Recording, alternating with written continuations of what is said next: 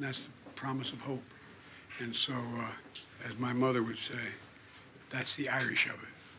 That's the Irish of it. Whenever we'd say something was unusual, she said, Joey, that's the Irish of it.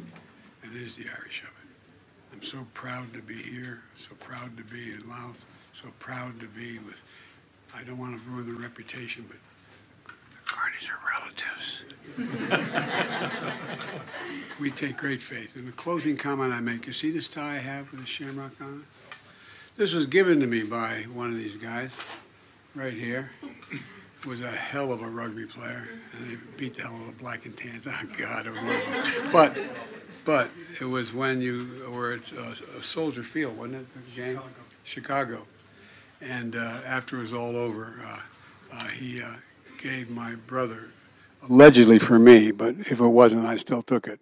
I still got the tie. I wear it with great pride. And so, thank you all for the homecoming welcome. The bad news for all of you is we'll be back. Uh, there's no way to keep us out, but thank you, thank you, thank you.